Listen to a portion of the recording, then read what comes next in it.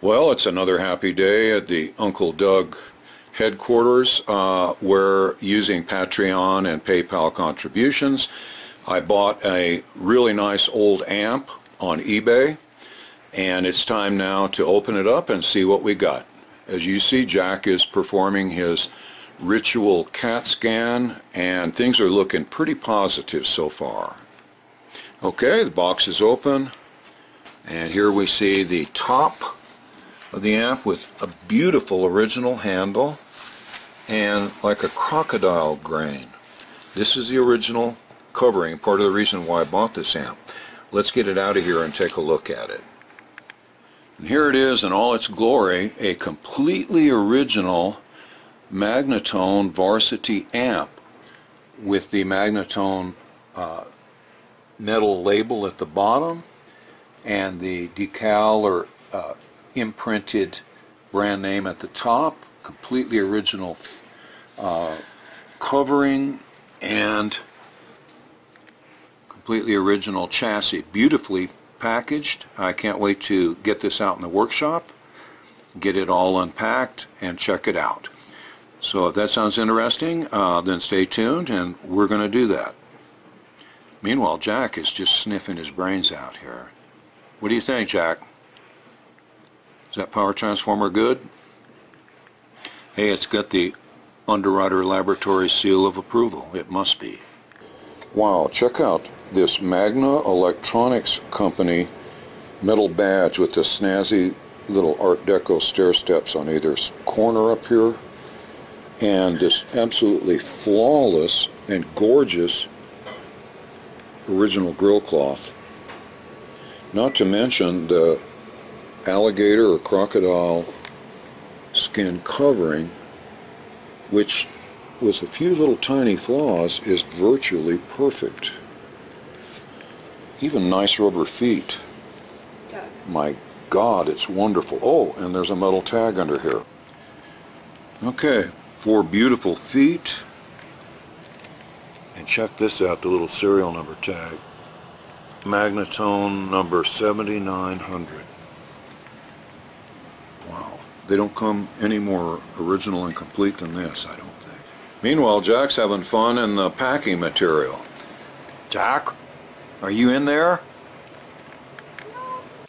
Well, here it is out in the workshop, and I know it might sound corny or somewhat inexplicable, but I get as excited about really nice original even rather low uh, value and unsophisticated amps as I do about the really high dollar ones. Okay, when they're this nice and this original, I just can't help but uh, just get uh, really thrilled with the opportunity to work on them. And before we get started, let's take a few moments here to review the history of this amplifier. I think a lot of us know that Magnatone began back in the 30s with a fellow named Dickerson who uh, built a steel guitar and amplifier for his daughter and then went on to make more steel guitars and amplifiers. And as companies do, uh, Dickerson's changed hands uh, a couple times and ended up in the hands of a, a fellow named Art Duhamel in 1946 and he changed the name to Magnatone or Magna Electronics. The headquarters was on Jefferson Boulevard in Los Angeles, uh, and it's during that period of time that this amp was probably built. First off, it's very rare to ever find an original handle on one of these. You know it's original because you can see right here that the rivets are still in place and there's no way in a heck that you could get this big end through this uh, little bracket. Okay, so uh, it's just absolutely in great shape. I, have seen them, you know, torn in half and shredded and everything, and this one uh, is looks like it's a year or two old. As does the top of the amp. There's a couple little minor discolorations, but no cigarette butts, battery acid, or chainsaw scars, thank heavens. Obviously, this one was never used by Keith Richard. Okay, uh, also let's take a look here. We've got our Magnatone. I think it's a decal. Okay, I, I thought it might be branded into the leather, but no. Uh, it's a decal that is very fragile and still in great shape, as is the grill cloth, which is astounding. Not even the tiniest little run or hole. And at the bottom, uh, the Magna Electronics Company, Los Angeles, uh, California. I don't think I've ever seen one of these plaques still be intact and in place and in perfect shape. The rubber feet are still here and perfect as well as the little uh, 7900 serial number plate. Now I'm not, I'm not aware of any sites that have uh, Magnatone serial numbers uh, and they probably didn't even keep records back then. But anyway, this, uh, if you have one of these, uh, you could tell its age relative to this one, I guess, by the serial number. The upper back door is still in place with original brass oval head screws. And the chassis is a bit grubby and stained. Actually sort of out of character for the really good condition of the cabinet uh, which makes me think maybe moisture uh, might have been involved or something. But once again, when you have a cabinet that's pristine and you see this type of discoloration on your chassis, it does make you wonder. We'll see more when we get this out and take a look. I have not touched this amp. Uh, you will see everything for the first time just like I am.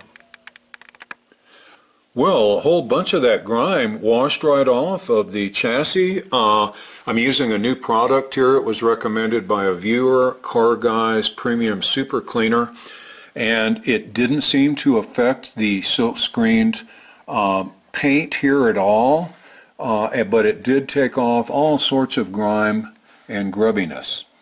All right, we can see here it's really cute. Uh, I'm going to wax this, which will make it a little shinier but we have our two instrument inputs. We see Magna Electronics Company, Los Angeles, California.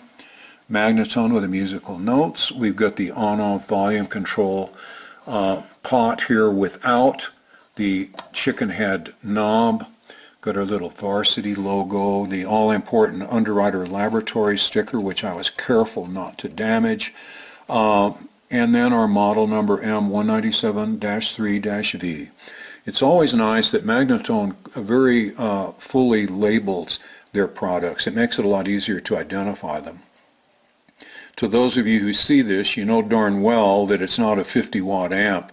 This has to do with the current requirements of the circuit, not the uh, power production. Okay, so uh, let's pull the chassis out of the cabinet and continue our cleaning and waxing here at the top of the chassis and check out our tubes and our electrodynamic speaker. We'll now look at how glossy that formerly grubby old control panel looks uh, with the help of a little Meguiar's Gold Class liquid wax. Okay, I find that the liquid wax is really a little more gentle than paste wax, but uh, look how that turned out. I'm really pleased with it. Let's uh, pull the chassis now, see what, what uh, the rest of it looks like. I was wondering why it was so hard to get the original screws out of the chassis. Uh, and then I finally got one out and I realized, my God, they didn't skimp, did they, on screw size. There must have been a spate of a chassis theft back, back in Los Angeles back in the late 40s. And they thought, well, we're going to make those guys work if they're going to steal a chassis from this amp apparently thieves of back doors were nowhere near as rampant as those of chassis because the back door screws look like about the size you'd expect. Well, after soaking my calluses for a while, uh, after removing all the screws, uh, it's time to remove the back door for the first time. Let's see if there's anything to be seen. Oh, my Lord. Oh, that little rascal, I guess he must have put this in there while he was sniffing. Well, after soaking my calluses for an hour or two after uh, removing uh, these screws from the chassis, uh, we got the back door off. We can get a clearer view of what's going on in here. We can see the Underwriter approved um, spider webs up in the top, hopefully no brown recluses. Uh, now it's time to disconnect the speaker so that it can come out with the chassis. As most of you know, it's generally better to remove electrodynamic speakers in tandem with the chassis because it's very difficult to disconnect the four wires that, uh, that umbilical that uh, connects the two together. Okay, so I'm going to lay it down and remove the nuts from the speaker and then we'll be ready to do the mass extraction. Oh may God have mercy on me. Look here, there's two more of those 9-inch uh, wood screws holding this chassis in. So uh, I'm going to set down the camera, grit my teeth, and get those babies out too. Good Lord, even the screw that holds the little strain relief clip in the wall of the cabinet is one of those massive screws. Nah, I'm just funning with you. It's this little one here. Well, I finally got the last chassis screw out and I also removed the tubes uh, to facilitate the extraction of the electrodynamic speaker. So let's take a look at the tubes, okay? I think we'll find them very interesting. First off, they're all matching RCAs, which would lead me to believe that they may be the original tubes. Of course, I'm always going to opt for uh, complete originality whenever something like this, this coincidence, uh, allows me to do so. Well, the preamp tube is a 6SJ7, which is a pentode, so that should give us a really nice little initial boost for our input signal. Second tube, I think you can predict, is going to be a 6V6. Uh, a little bit soiled, we'll need to clean it up. And last but not least, of course, the uh, very traditional 5Y3 rectifier. I'm still having some curiosity about what sort of god-awful uh, soiling forces could have entered horizontally through the back of the amplifier cabinet without touching the cabinet itself. I mean, these tubes look like, you know, they were left laying out in the gutter somewhere for like two years. Uh, and then the cabinet looks like it's about two days old. I don't know, one of those mysteries, I guess, that we'll never get to the bottom of. Well, using a crowbar and some C4, I was able to get the electrodynamic speaker uh, out of the cabinet. Uh, and it looks like it's in great shape, thank God, because um, this would be no fun to recone. Got it laying down here. I also notice uh, the coiled up power cord is in a matching reptile skin motif right through here, uh, which I thought was very tasteful. Now looking in the bottom, uh, I'm going to assume that this amp must have been sitting next to a Silvertone amp because there appears to be uh, a few droppings and some fur back uh, here. It must have been a cozy little nest, uh, kind of a like a crash pad or something for mice back in the good old days. It's kind of interesting that the cleats and the uh, chassis mounts are just plain unfinished uh, bare wood that are nailed and probably glued, I hope, in place. Uh, nothing fancy there. Sort of like after they got uh, finished covering the cabinet with the reptile skin, they said, oh, geez, you know, this is taking longer than I thought. We'll just nail in some cleats. But since they're original, I love them. Well, after receiving city, county, and state permits for the release of mouse dander into the atmosphere, I was able to blow out and cleanse the interior of the cabinet. Well, after removing more fur than a petting zoo from the cabinet, I have set it aside so we can focus our attention on the chassis and speaker. And I think looking at the top of the chassis and the fur in the cabinet explains uh, why uh, the uh, depredations here were uh, restricted to the chassis itself and not to the cabinet uh, because I believe uh, it was a mouse nest. So time now to clean up all the biological residues that were left by our furry little predecessors. And there, as if by magic, is the cleaned and waxed chassis. Notice even the transformer shined up nicely. It's got a nice gloss to it. And most importantly, when you use car wax on paint like this, you're sealing the paint and protecting it uh, for the future. Put in a new uh, chicken head knob. So it looks like, at least cosmetic-wise, we're in really good shape. And the speaker uh, looks that way too. And uh, once I flip it over, amidst a few tufts of fur, we see that all of the original capacitors are still in place and that the chassis does not appear to have been uh, molested in any way other than by mice. Now as we know from experience, uh, the Sangamo caps are not the most reliable, uh, so I think it best to replace them as well as the electrolytic uh, capacitors used for filtering and for cathode bypassing. So let's get started. You know, as I look at all the mouse fur and residue, I think back to how Jack was reacting to this amp when I first un, uh, unpacked it. And if you remember, he was sniffing his brains out over this thing, and I bet you he was picking up on the mouse smell. Probably looking for some mice to play with. Time to review the changes that have been made in the circuit. The 16 by 16 microfarad electrolytic filter cap has been replaced with two 22 microfarad caps. The 25 at 50 volt uh, cathode bypass cap has been replaced with a new one of uh, equal value. The depth capacitor has been removed and three Sangamo caps have been replaced, including the coupling capacitor between the preamp and output tubes. Also, a three-wire power cord has been installed and properly wired to go through the switch, the fuse, and then to the primary of the power transformer. The white wire goes directly to the other primary lead.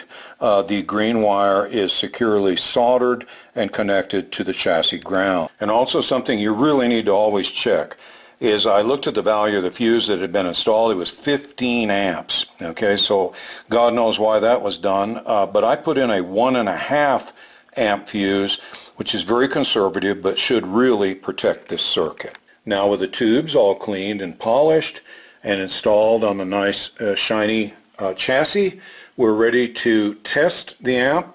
Uh, I'm going to use the signal generator input to make sure that it's functional and then we're going to uh, install the chassis and speaker back in the cabinet. Okay, let's turn up the volume so we can hear the signal generator.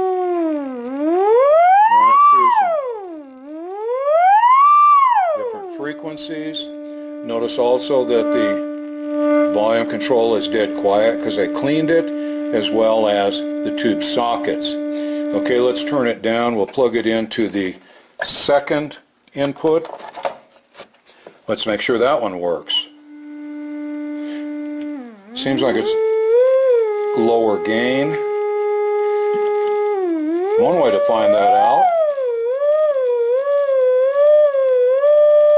Okay, so it looks like they both work. This would be the higher gain input, lower gain input. That's about it. I think now it's time to install the chassis and the speaker back in the cabinet. One more thing before we reinstall the chassis is you need to double check the contacts on your input jacks.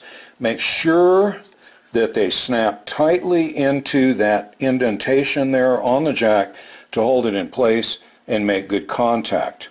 Uh, the other thing uh, I also am going to check just for fun will be the cathode uh, biasing of the 6V6 uh, tube. I measured the cathode bias resistance. Uh, it was a 250 uh, ohm resistor and miraculously it's right on the money, 251.7 and the voltage drop across that resistor is going to be let's say 15.96 volts DC. Let me write that down here. And the plate voltage is measured from plate to cathode is 338 volts DC. Okay, this is a good example of why you need to check these things. Don't take anything for granted. This seemed like a low cathode bias resistor to me. I should think it would be more like 350 or 400. But look at the plate current. 63.4 milliamps, about double what it ought to be, for a plate dissipation of 21.4 watts. Talk about a plate scorching bias here. Okay, so I think it's time that we start installing a proper uh, bias resistor and get this number down to a tolerable level. And to make this process easier, I'm going to use a resistance substitution box that a very generous viewer sent to me a couple months ago. Uh, I've linked it into the circuit uh, in place of that bias resistor and I can dial in various resistance values until I get one that has an appropriate voltage drop and therefore an appropriate plate current and plate dissipation value. These are the results. Remember we started off with 251.7. I went to 477 ohms and it's still, uh, the plate current is way too high. 670 is still too high, but it is getting down into a more normal range. 726 ohms. You notice how it's starting to taper off uh, here. And finally, um, at 1013, it came out a little bit high at 29 milliamps, but uh, with 1167 ohms of bias resistance, uh, I ended up with a, a drop of 31.5 volts for 27 milliamps. The plate current, uh, uh, I mean the plate voltage of course went up when the current went down, so it's now 408 volts for a final plate dissipation of exactly 11 watts. Now two observations. Number one, I have no idea why all of a sudden the 6V6 suddenly required about four times the uh, cathode resistance uh, to achieve a proper bias. Okay, I don't understand that unless somebody put in the 250 ohm uh, resistor by mistake. Okay, the other thing is this makes me want to run in the house and grab every single-ended little cathode uh, biased amp that I own and start checking this. Because if it can be off this much in this, this pristine original amp, what in God's name could it be off in kind of an old uh, beat up amp? Well, couldn't be much worse than this. Okay, so I think we've learned a couple things from this.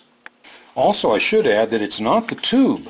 Okay, I put in a brand new, an NOS uh, RCA 6V6 and it actually had higher plate current than this. So uh, something really strange happened here and we'll probably never figure it out. So I guess it's time to move on. Well, a nice shiny chassis has been reinstalled in the cabinet along with the electrodynamic speaker. The new power cord comes up through the strain relief and now it's time to reinstall the upper back door. Well, the amp is all reassembled here and ready to be tested. Uh, the parts that were removed will stay in a little sack uh, with it. Uh, not the cord though, this is a mess and it doesn't look like the original plug anyway, so we'll file it in the trash. Uh, but anyway, now it's time to turn it around and uh, drag out a guitar and see how it sounds.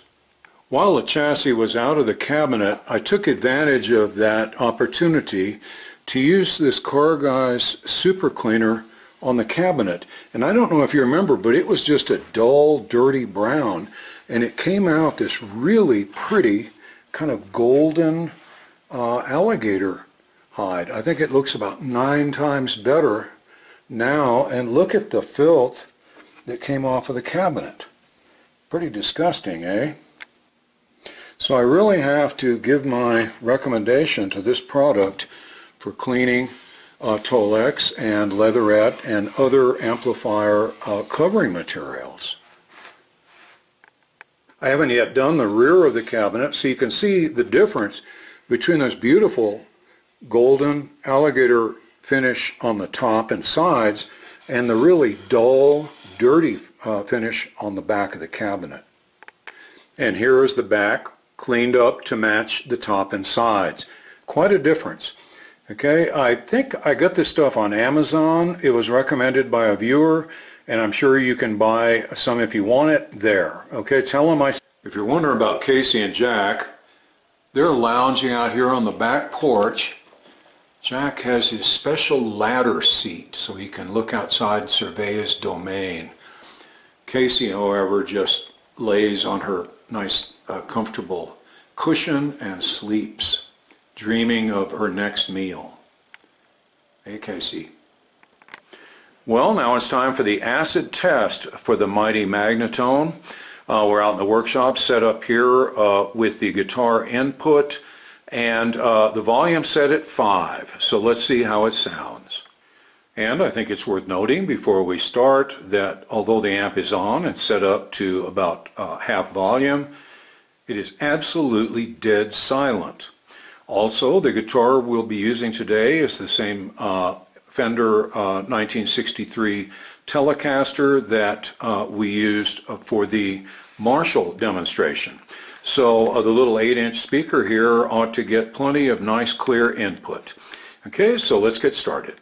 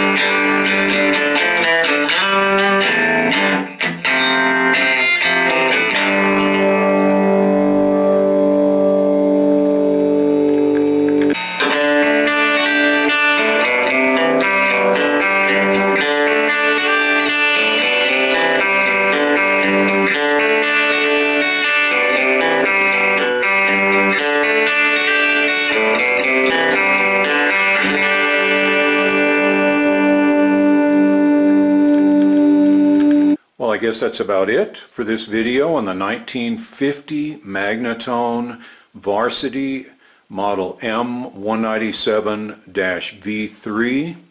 I hope you enjoyed it. I know it's not a Marshall uh, or a Fender Bassman, but uh, I love it all the same, and I hope you do too. I'd like to think we both learned something uh, from this video about a good way to clean Tolex cabinets and also to always double check uh, the bias of your output tube or tubes. As usual, I want to thank my generous uh, Patreon patrons and uh, PayPal contributors uh, for keeping us on the air and advertising free. Without you guys, uh, this would never happen. Okay, if any of you would like to join them, uh, please see the links in the video description. And uh, now, before we bid farewell, uh, let's take a quick trip to a recent car show that occurred here in town and see some cars that we've probably never seen before. Hope you enjoy it, and I hope you'll join us again soon on our next video. Well, it's 9 a.m. on a Saturday morning. Uh, we're going to head up to a big car show and party at a air museum uh, just a few miles from where I live. So I hope you'll join me for the trip and I think you'll find it very interesting. Well, we've arrived at the airfield, which is an active one. All sorts of planes It's a museum actually for old fighter aircraft and now we're having a car show in the middle of it. Here we are. Okay, let's start our cavalcade of hot rods with this 32 Ford three-window coupe. It's all steel. I know because the guy's advertising it on Craigslist. I've never seen the car before. He advertised it like yesterday and here it is at the car show. Probably to catch the interest of people who like old cars. He's at the right place. You know, I don't care for the spoked wheels. Uh, it looks like, you know, they're Kelsey Hayes style wheels from a much later model car. Uh, if you're going to do spoked wheels, you probably ought to stick with Model B. These almost look like Jaguar wheels. But uh, beautiful car. I think he wants like forty-five or fifty thousand dollars for this jewel. May get it. Probably not here. Here, right next to it, is a super nice, very traditional style hot rod with the steel wheels, beauty rings, and uh, little Ford baby moons, big white walls, gorgeous body. I love the interior. Perfect color choice, I think. Very understated. It's one of those gauges where there's four gauges in one. Makes the dash nice and neat. Unencumbered. Uncluttered, I guess I should say. Look at this. Beautiful. It costs about five times as much to build a flathead like this as it does to build a more modern engine. You end up with less horsepower too. But if you're a dedicated purist, that's kind of the way you do it. And boy did he. Beautiful job. Spectacular car. Here's one that comes to every one of these car shows and it's one of those deals like if you ever made an AMT model kit and you used too many parts and it just looked kind of cluttered and messy, well, like, I mean, that key back there, come on. Kind of silly. Nice uh, chrome reverse wheels. Nice paint job. Great body. I don't really care for the color choice. I'm inflicting my opinion on y'all, but it's the only opinion I've got. Okay? Gorgeous dash. Air conditioning. Look at that steering wheel. Looks like something out of a Lamborghini. Beautiful touches on this car. Obviously air conditioned. Big high rise with two Holleys it looks like. Gorgeous. A lot of good points on this car. Few things I'd change, but uh, that's why they put knobs on television sets. Here's a nice, straight as an arrow, two-door hardtop, 56 Chevy, the American five spokes, 350. Nothing earth-shaking here, but get the old Texas 56 plate. It's a replacement plate. when you, they are normally black and white, and if your plate gets stolen, like if you parked in Mexico for 30 seconds, uh, they'd give you a replacement plate that was yellow. We used to go over to Mexico so they'd steal our plates and then uh, we'd get these and then the girls would think we're from California. The things you do when you're young, huh? And I admit it here. That's what really is pathetic. You know, there's an old saying that unless your body work is perfect, don't paint it black. Okay, and in this case, looks like it is, and he did. A little tiny bit wavy there at the rear. Black will show the tiniest flaws in bodywork.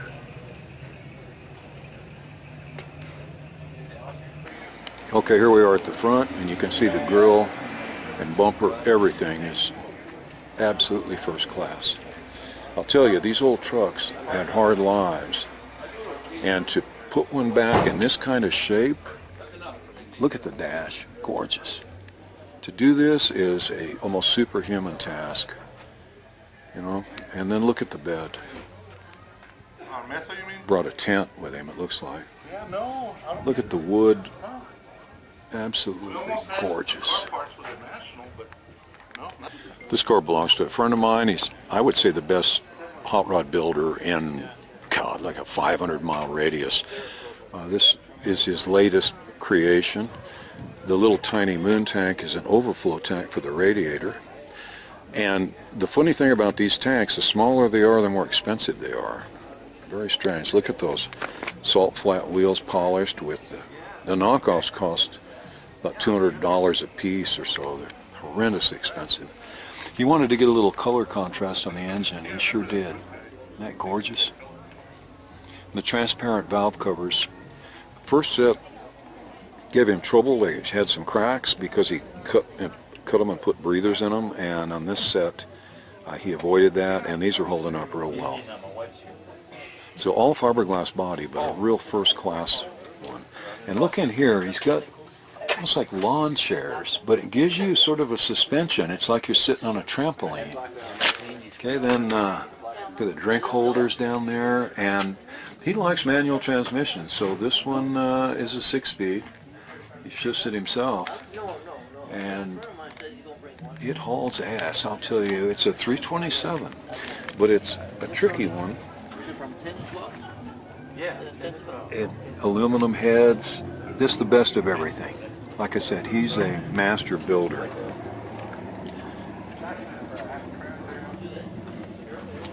Tire and wheel combination costs more than most people's cars. It's a beaut. Look at that little ventilated rear window on the convertible top. Like I said, all sorts of neat touches that he puts into cars. Stuff we haven't even thought of yet. Very inventive. Okay, let's take a look at this jewel. Beautiful pinstriping. Nice color. Sort of a tomato red, not fire engine red. Gorgeous wheels. I think this is a kit car. Uh, it's a fiberglass. I don't know. They, they have them. They're like Street Beasts. And there's other brands. Uh, but this thing has a complete tubular frame underneath. So it's sort of like a road racing car disguised as a 33 or 34 Ford. These things really handle, I guess. Just beautiful. So you have the looks of the antique, but the handling of a modern sports car. Very, very nicely done.